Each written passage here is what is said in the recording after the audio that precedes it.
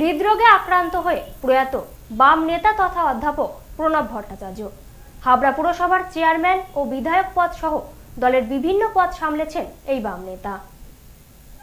হৃদরোগে আক্রান্ত হয়ে প্রয়াত হলেন বর্ষিয়ান সিপিএম নেতা, হাবড়ার প্রাক্তন বিধায়ক ও হাবড়া পৌরসভার প্রাক্তন চেয়ারম্যান, অধ্যাপক প্রণব ভট্টাচার্য। এদিন ভোরে হাবড়ার হিজলপুকুরে নিজের বাড়িতেই হৃদরোগে আক্রান্ত হয়ে আজ ভোর তিনটে পঁয়তাল্লিশে শেষ নিঃশ্বাস ত্যাগ করেন। মৃত্যুকালে তার বয়স হয়েছিল ছিয়াত্তর বছর। হাবড়ায় সিপিএমের একাধিক দলীয় কার্যালয়ের পাশাপাশি হাবড়া পুরসভার তরফে প্রয়াত নেতাকে শ্রদ্ধা জানানো হয়। ষাট দশক থেকে দীর্ঘদিন অধ্যাপক হিসেবে হাবড়া শ্রীচৈতন্য কলেজে তার চাকরি জীবন কেটেছে। উনিশশো উনআশি সাল থেকে উনিশশো অষ্টআশি সাল হাবড়া পৌরসভার প্রথম বোর্ডের উপপৌরপ্রধান ছিলেন প্রণববাবু। উনিশশো সাল থেকে উনিশশো তিরানব্বই সাল হাবড়া পৌরসভার চেয়ারম্যান ছিলেন প্রয়াত এই সিপিএম নেতা। এরপর দু ছয় থেকে দু হাজার এগারো সাল পর্যন্ত ছিলেন হাবড়া বিধানসভা কেন্দ্রের বিধায়ক। এছাড়া বিভিন্ন সময়ে দলের ভিন্ন ভিন্ন দায়িত্বে ছিলেন এই বসিয়ান নেতা।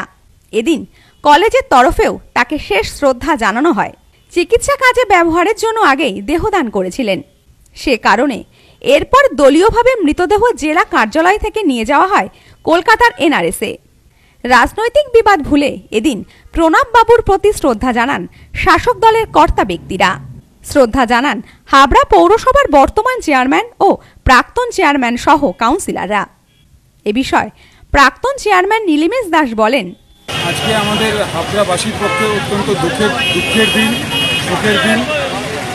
হাবড়ার দীর্ঘদিনের বাসিন্দা প্রায় ছিয়াত্তর বছর বয়সে উনিশশো অষ্টআশি সাল থেকে উনিশশো তিরানব্বই সাল পর্যন্ত তিনি হাবড়া পৌরসভার প্রথম নির্বাচিত পৌর প্রধান হিসাবে কাজ করেছেন এবং তারপর দু সাল থেকে এগারো সাল পর্যন্ত হাবড়া বিধানসভার বিধায়ক হিসাবে কাজ করেছেন।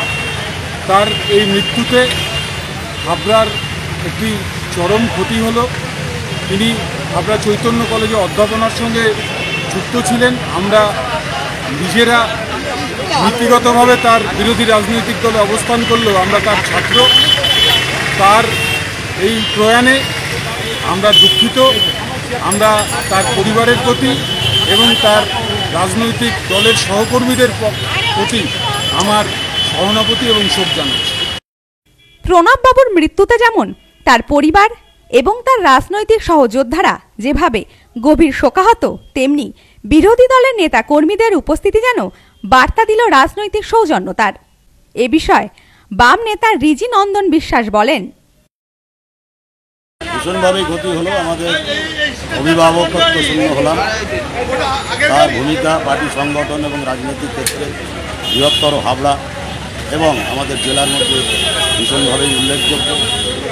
আজকে আমরা অভিভাবকহীন হয়ে পড়লাম তিনি পার্টি সংগঠন রাজনৈতিক কর্মকাণ্ড এবং অধ্যক্ষ হিসেবে তার যে নির্দিষ্ট ভূমিকা এই যে শ্রীচৈতন্য কলেজে ম্যাকের অন্তর্ভুক্ত হয়েছিল আইসিটি অন্তর্ভুক্ত হয়েছিল সেই কর্মকাণ্ডে তিনি উল্লেখযোগ্য ভূমিকা অধ্যক্ষ ভারপ্রাপ্ত অধ্যক্ষ হিসেবে তিনি গ্রহণ করেছেন।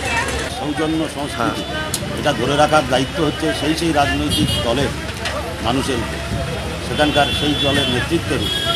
ফলে সেই সংস্কৃতিটা ধরে রাখার জন্য যারা এগিয়ে এসছেন অন্যান্য রাজনৈতিক দলের এটা খুব স্বাভাবিক ঘটনা আসাই উচিত। আমরাও যেমন সামিল হই বিভিন্ন ক্ষেত্রে এবং সেই সংস্কৃতিটা আজকে শেষ হতে যাচ্ছে সেটা আমরা আমরা যতটা পারি চেষ্টা করছি। Bureau report news no man's land Habra. অবিরাম পথ চলার সাথে নব সংযোজন নতুন রূপে নতুন সাজে। নতুন সোমবারে সেজে উঠেছে বনগায়। আদি মোহিনী মোহন কাঞ্জিলা